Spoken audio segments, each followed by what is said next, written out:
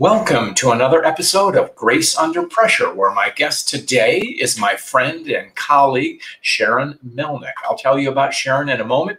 The um, uh, Grace Under Pressure is an interview show that poses questions to thought leaders and doers like Sharon, who are helping us come to greater understanding of ourselves, especially now in crisis. Grace Under Pressure reveals what's too often dismissed as the soft stuff, you know, the caring, the connecting, commitment we feel toward one another. Grace for me is generosity, respect, compassion. And when we do it as a leader, especially in challenging times, requires the ability to act for the benefit of others and energize the whole organization. So it's my honor to welcome Sharon Melnick. Welcome, Sharon. So Thank you so much. It's such an honor to be here with you, John. You're such an inspiration to me. Well, you're too kind. Uh, checks in the mail. Uh, let me tell the folks about you. Sharon is a PhD. She's a leading authority on stress resilience and women's next level success. And she's going to give us some insights.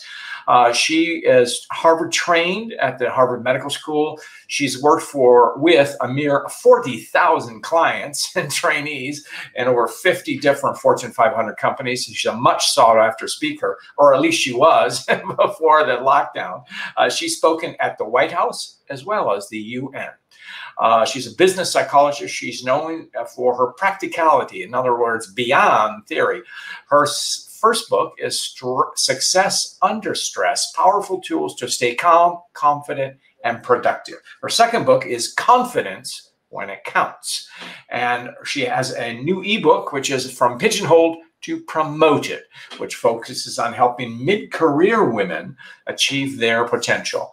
Um, she is has a special mission to help women become more empowered, I say, but act uh, for the benefit of the team. She's a go-to executive coach, and don't I know that? She has she and I have presented together, and she's a remarkable.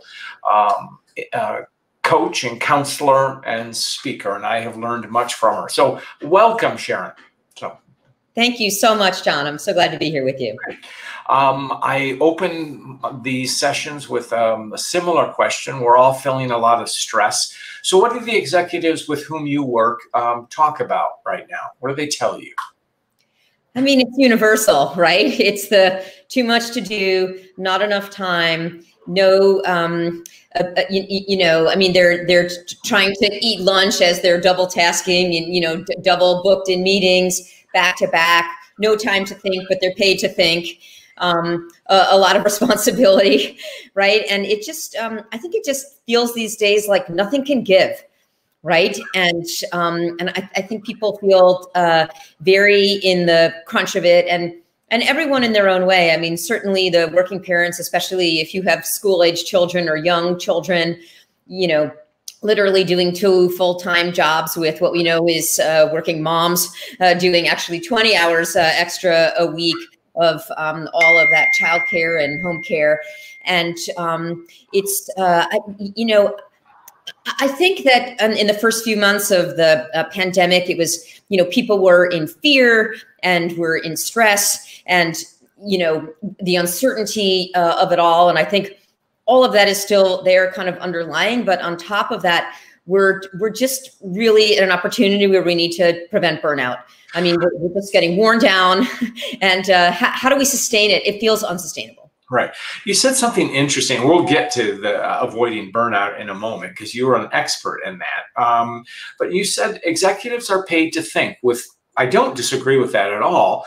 Um, but you are saying they don't find time to do it because they're doing other stuff, correct? That- well, I think that there's two things. So, one is um, that it's hard to have time to think when you are consumed every moment with back to back meetings um, or interruptions and distractions. So, I think that that's one of the things, right? Is that you, you literally like can't carve uh, out the time.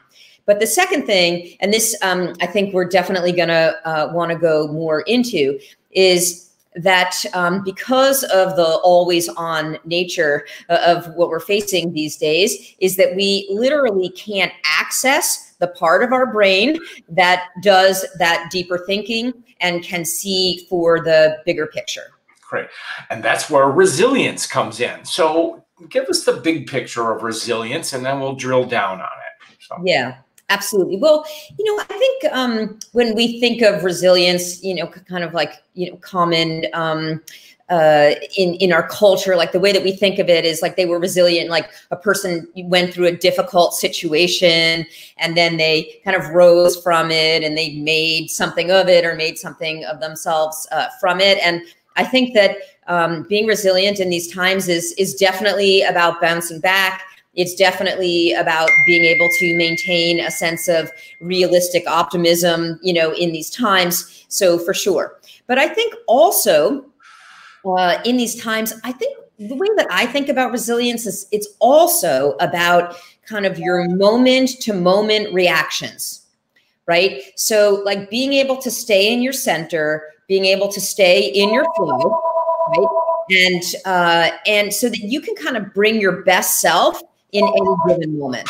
And I think that that's what's important in these times. That's great. I've always, I've always agreed with, uh, I've always agreed with you, of course. I've always agreed with your definition of resilience as a, as a, uh, as a, um, a bouncing back from adversity. Um, Eileen McDargh has this philosophy of bouncing forward, and because we're meeting a new challenge. Do you? Is there something to that that resonates with you? So. Yeah, I love that. And not bouncing back, bouncing forward. I think that that's absolutely right. And, you know, the single best question that I ever ask myself and that I think can lead someone to bounce forward in that way is this How might this be happening for me, not to me? What a powerful question. Instead of instead of playing the victim, natural, we find maybe I'm more in control.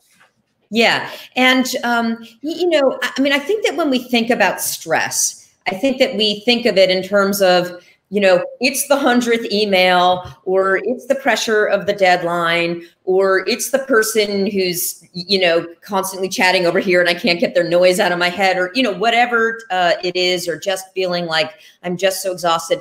And it is those things.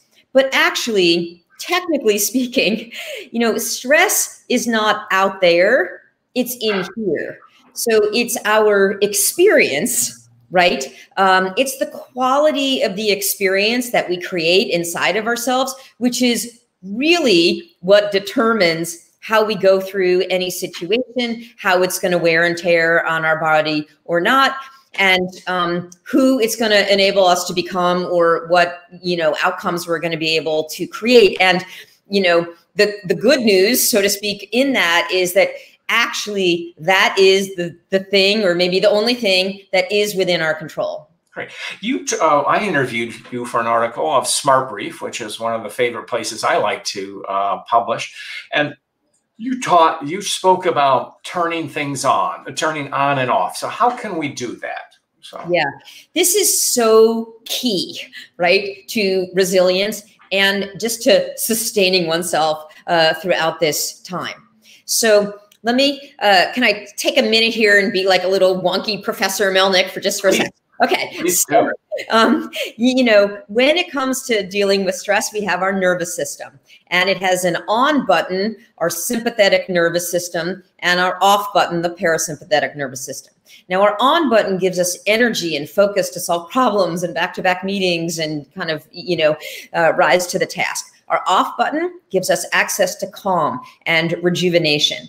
Now, the way that we're supposed to be kind of coordinating, you know, like in caveman and woman times, we like defend ourselves from the woolly mammoth, you know, all, you know, fight or flight. But then we'd be in the dark cave, resting, digesting, maintaining our immune system, making cave paintings.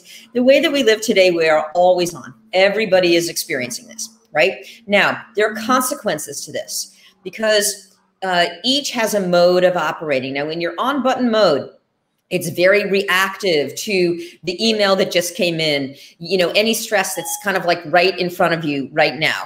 And this is very helpful to tick things off your list to get through the tactics of your day. However your on button can only reference the past in order to know how to do things right? It, it just has well-worn grooves. It's like your survival mechanism. It's like have we done this before? And it's you know how does this affect me? It's all about me it's uh, kind of survival focused. and we have an experience of time famine, and we can't distinguish between what's foreground and what's background. So everything feels like a priority. I have to be the one to do it.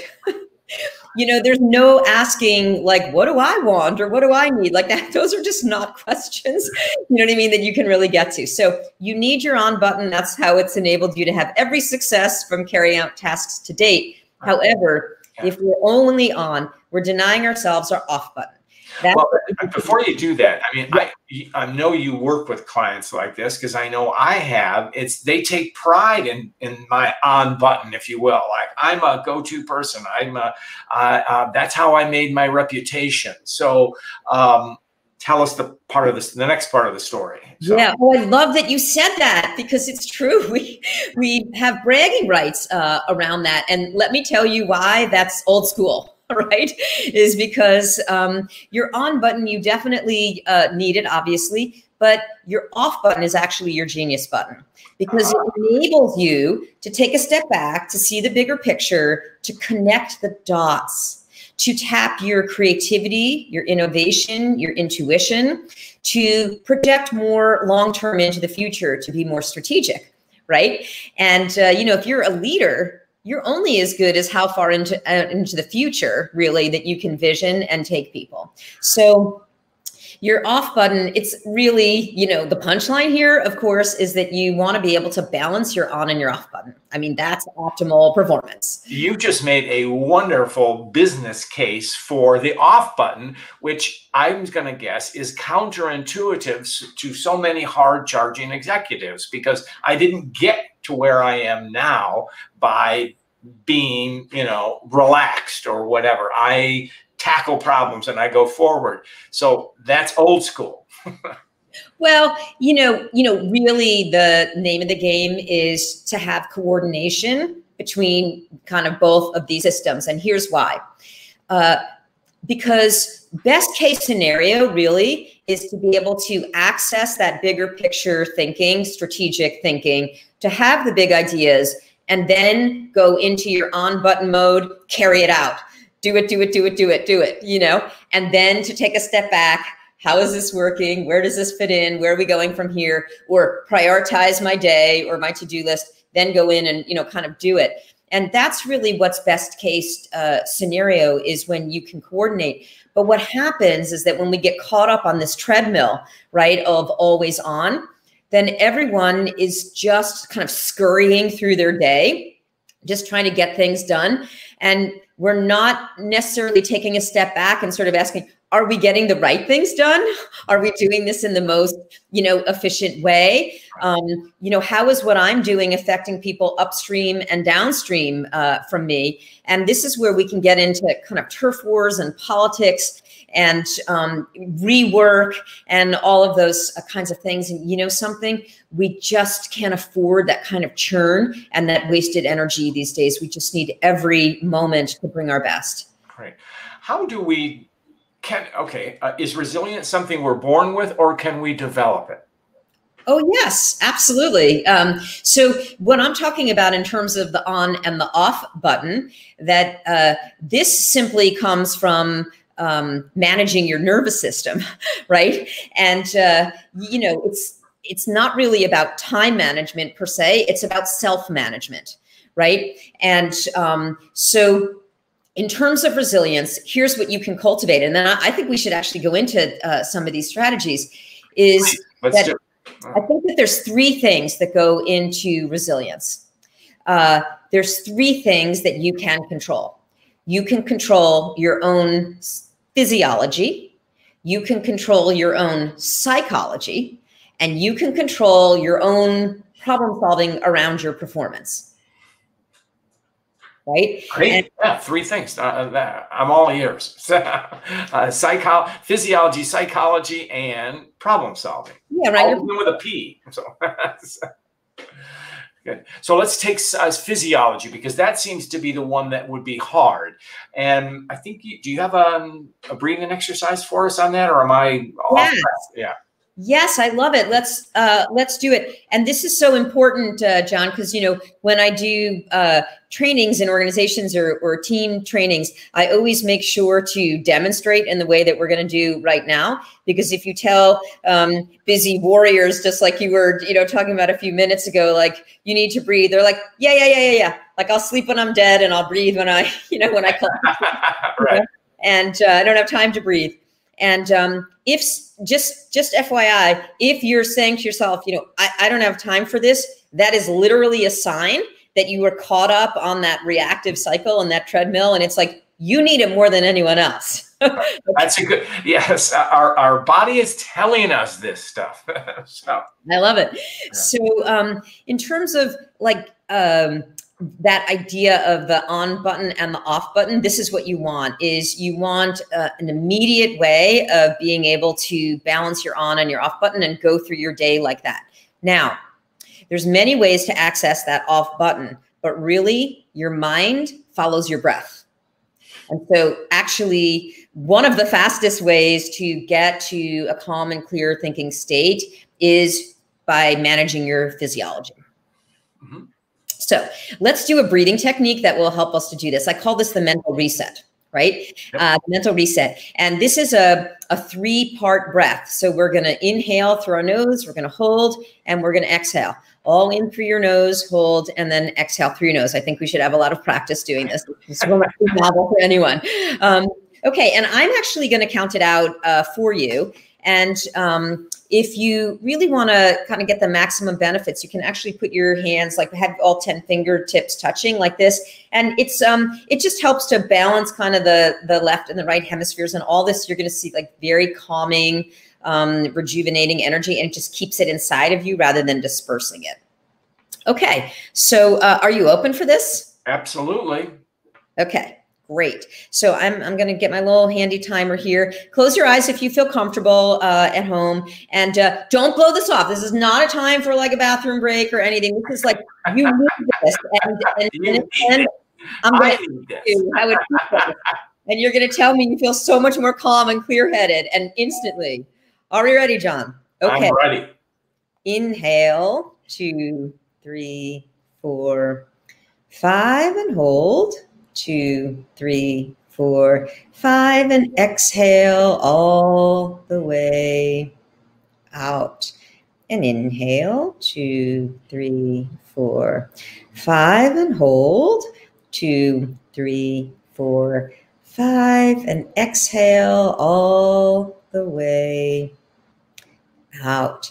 And inhale, two, three, four, five, and hold, two, three, four, five, and exhale all the way out. Very good. And inhale from your belly and hold two, three, four, five, and exhale all the way out.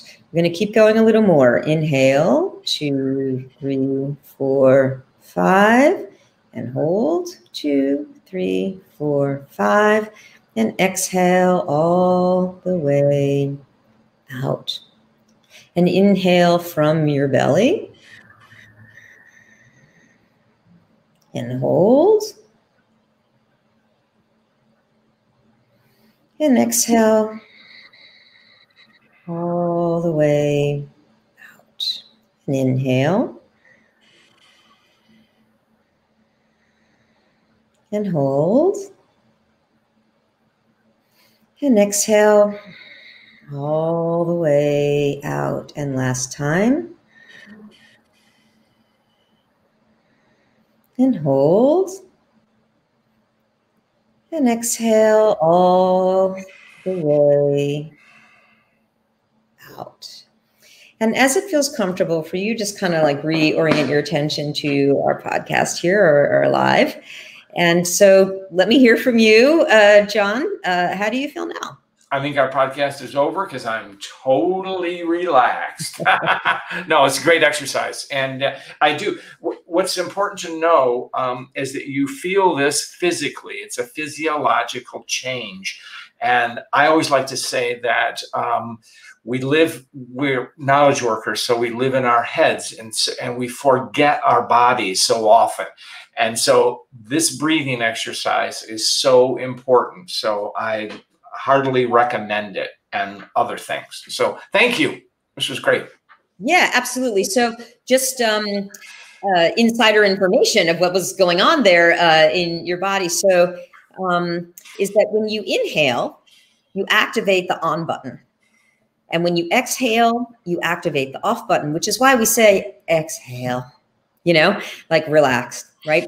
So it's actually very, very uh, important. The exhale is very important. And uh, when we're under a lot of stress, um, you know, usually we're taking very rapid and shallow breaths, and it just kind of keeps us. It perpetuates that, like, you know, sense of frantic um, freneticism. And uh, so this is like an instant way. I mean, do you know how long we did that for, John? It seemed like five minutes. Yeah. It was, it was like a little under two minutes. Yeah. It was and, a minute 55. But it's refreshing. So I like it.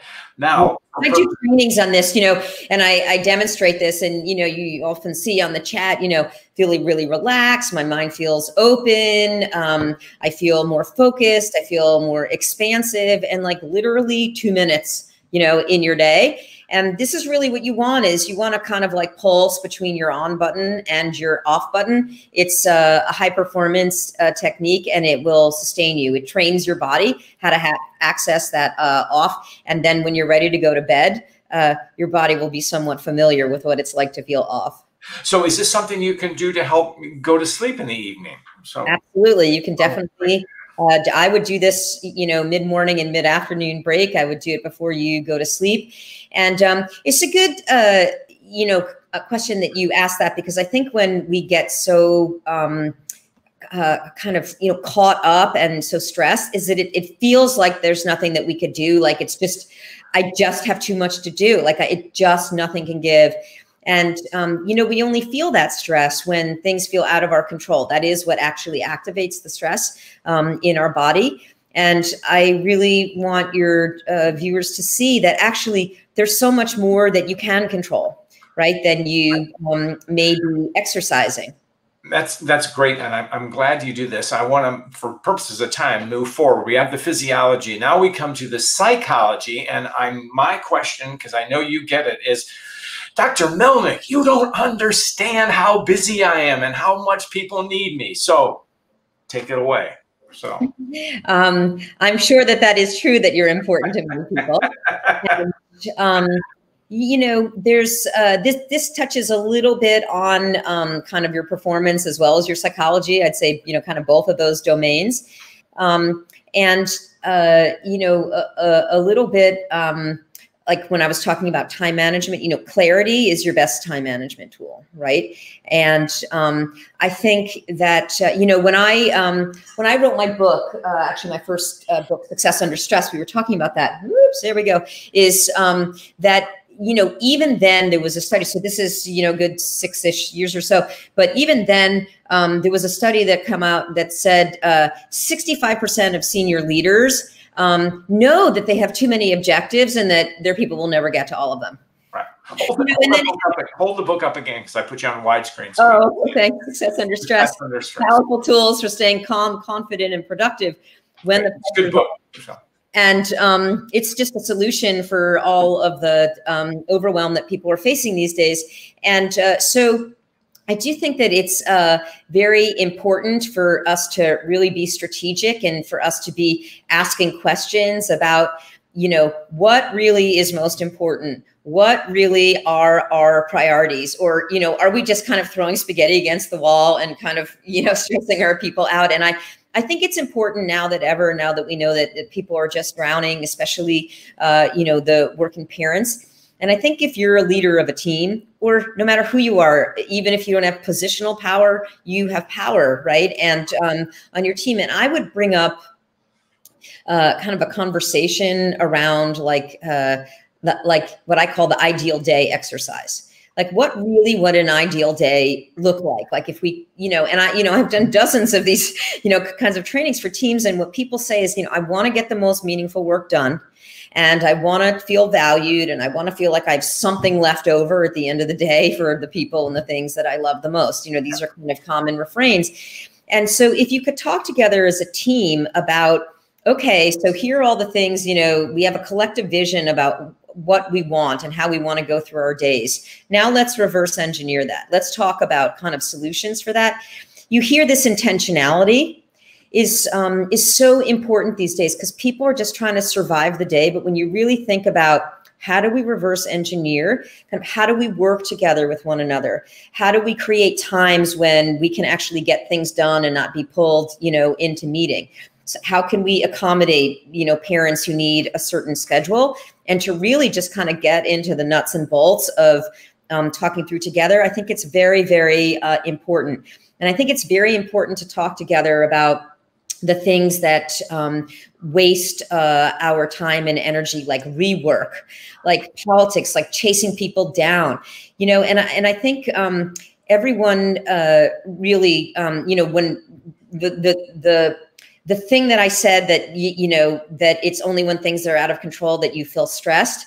You really, really want to maximize what you can control. The mantra that I think is um, kind of the one to hold on to going forward is be impeccable for your 50%. Be impeccable for your 50%. So really maximize what it is that you can control. And part of that is bringing up these discussions, you know, on your team.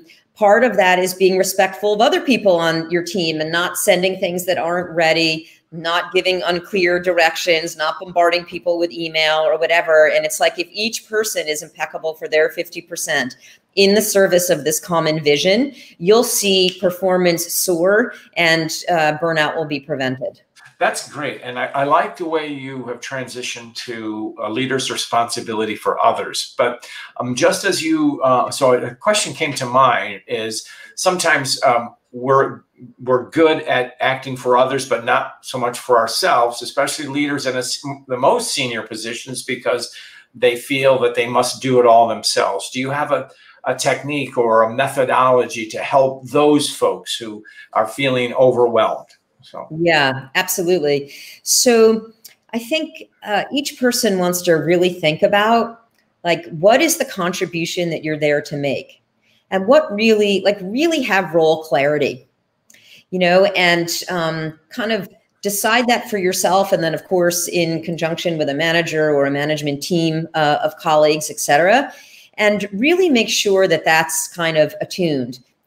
And then, you know, really um, uh, show up and carve out your time in terms of the best leverage use of kind of who you are, what your strengths are, and what the organization uh, needs from you. And when you were talking about like, you know, the psychology approach before, you know, there's many, many mindsets that are really key um, to sustaining oneself in these times. And one of the things that I think is just the most important kind of meta, I think the I think the word of the year in my book is intentionality. Intentionality. Like we just can't like survive and be re, you know reactive and just get caught up anymore. I think it's so important to really be intentional. We were just talking about what that looks like kind of as a you know as a leader of a team the leader creates the weather on the team, right? So the. The leader creates the weather on the team. I've heard you say that before. I love that. So tell us what that means. So so it's like again this idea of like you know what is the experience that you want people to have that will help people to thrive to feel included to feel they belong to feel that they are inspired people's energy is worn down right now inspiration is what people are looking for. Is like clarity like give me what i need to get my job done like really you know efficiently and and inspire me because i need renewed energy. And so a leader you know based on this idea be impeccable for your 50% a leader really wants to you know be like who do i need to show up as in order to create that weather like to really really be intentional because that's what you can control these days in an environment where so much outside of us we can't control And I would say to me, to link it to they, that's where grace comes in. That's where the intentionality of acting for others. Um, sadly, we're coming to the end of this program. Uh, there's so much more you have to offer. Um, but um, I want to ask you a personal question about grace. Do you have an example that you like to share or that you've seen or any experience in your own life? So, yes, I, I, um, I, I just love that you make a stand for grace and that you remind us uh, of that. And, you know, grace is when I think is kind of like when light comes in and helps us transcend the crunch of the moment, right? And connects us to um, uh, our humanity and the things that really are the eternal truths and what's really important. And for me, you know, I experience grace when I'm in the presence of um, uh, either whether it's the natural world that is so much bigger than me and reminds me of kind of the, you know, the generations, or when I connect um, to kind of my my sense of, of spirituality and um, and and uh, just for, for me it's it's kind of a a, sense of a, a, flow like streaming rays of light you know that come in and, and kind of surround me like a, a, cone. And i feel like um, you, you know that i'm i'm connected to a higher purpose. So that's for me like you know, really, um, anytime I'm doing my work, uh, I actually like step into that literally before I kind of get on, you know, a podcast or, you know, with clients. And I'm always trying to access that, especially when people are talking to me about things that are really hard. Like, how can I be that streaming ray of light to uplift them and to bring that kind of into that vibration, uh, if you will? And I also think the the other way that I uh, access that grace is for me in the moments of tender connection. Like, you know, um, uh, there was a, a, moment several weeks ago when I, I just um, felt like a number of things that I was doing just, you know, weren't kind of, you know, getting getting getting traction or kind of working in those moments. And it was just, you know, we all have those uh, kind of moments. And I just, I just allowed myself to just kind of like feel it, the frustration of it, so that I could move through it and kind of get to a more problem solving moment.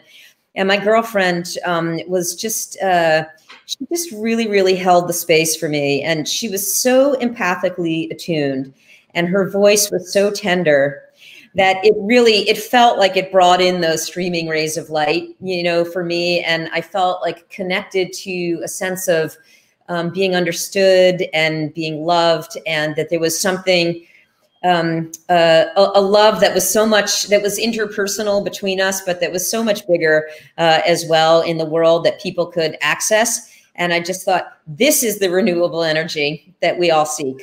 That's a lovely story. I like how you linked the idea of grace to the concept of light or enlightenment, one might say, that you strive to give to others. And it's so good you have the return, the reciprocity of your friend, your girlfriend shared with you. And so that's, and grace is, uh, lives on, and foam, and grace nurtures love. So we're all in this together and that's makes it so powerful.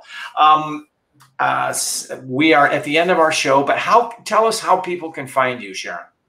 Thank you so much. So, you know, probably uh, my website, www.sharonmelnick.com, uh, would be a, a, great place to connect. Uh, so, and if there's any way that I could uh, support you personally to uh, be effective, to be a, a resilient leader, and uh, of course, you know, this is so important to prevent burnout, to help your people, your team members, your organization, your group to uh, prevent the effective mental health uh, issues and to really get so worn down that they can't be kind of effective. And I know that effective leaders these days are balancing, um, you know, the ability to have completion with compassion. And I think uh, being there for your people personally, as willing as providing them with those tools. And um, also, you know, uh, the Success Under Stress book is also uh, a great place to start and trainings that are based on it. Great. And we will put the link in the description of the video that goes out. So thank you, Sharon. You've been a terrific guest. Always good to talk to you. And with that, we are going to go out. So. Thank you so much, John.